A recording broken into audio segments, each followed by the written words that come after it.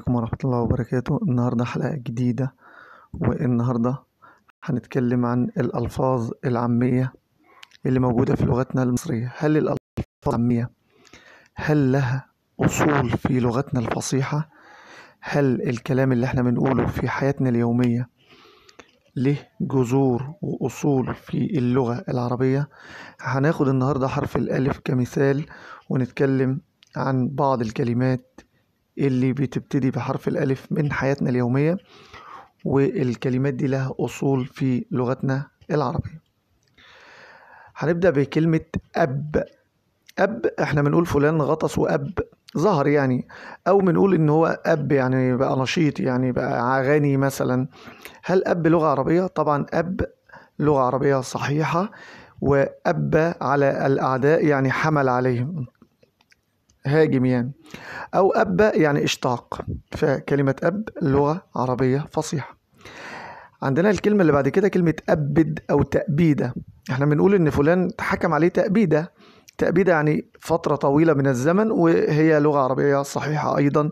من تأبد الشيء يعني بقى أبدا طويلا. الكلمة اللي عندنا بعد كده كلمة الإبريزة اللي هي بتختصر لكلمة باريزة. وهي كانت عملة قديمة موجودة في مصر. يعني من فترة من فترة قريبة كده. وكلمة الإبريز بتعني الذهب. ويبدو إن هي يعني إيه كان أول ما ضرب هذا النوع من العملات كان من الذهب أيام العز يعني. عندنا بعد كده كلمة أبهة. أبهة بتستخدم في العامية المصرية والأبهة يعني العظمة والجاه وكده وهي لغة عربية برضو فصيحة.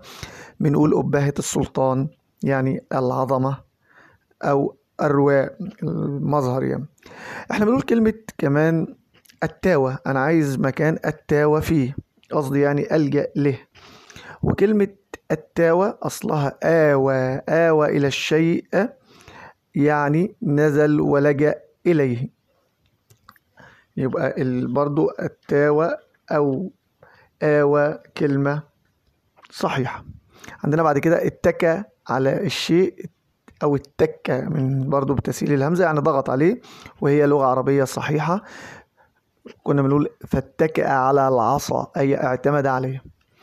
أج أو أحيانا بتنطق كلمة أج بالواو فنقول وج نقول عقلي وج أو مخي وج. يعني اضطرب أو اشتعل وهي أجت النار وهي لغة عربية صحيحة. الكلمة اللي عندنا بعد كده إحنا بنقول إن يا سلام دي فلانة دي قروبة قصدي يعني إنها ذكية قوي والقربة أو القرب اللي هو العقل والقريب هو ذا الذكاء والفطنة والدهاء فالكلمة أيضا صحيحة. عندنا كلمة نقول فلان ده أس الفساد يعني أصله. والأس هو الأساس وهي لغة عربية فصيحة. عندنا برضو من الكلمات اللي ممكن إحنا بنقولها في حياتنا برضو كلمة ألا أنت مسافر ألا أنت ديت ال أصلها هل وهي لغة أيضا ولهجة في كلامنا. عندنا كلمة بنقولها برضو ده فلان ده آخر ألاجة أو لابس ألاجة بالجيم اللي هي القاهرية اللي يعني الجيم الغير معطشة يعني.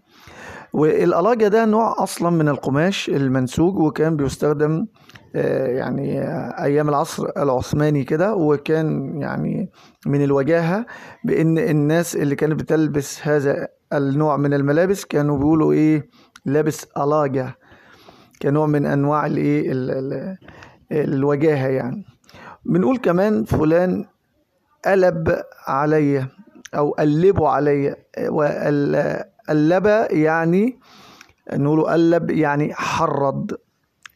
عندنا الكلمة اللي بعد كده كمان كلمة ألس. نقول فلان ألس على فلان يعني استهزأ بيه أو خلط كلامه بنوع من أنواع الإيه؟ الاستهزاء.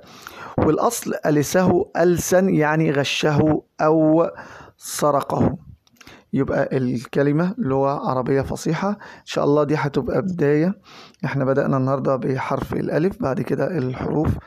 يا ريت تدعمونا بال like وال subscribe وال share وعشان نستمر معاكم بتقديم الايه الجديد إن شاء الله. والسلام عليكم ورحمة الله وبركاته.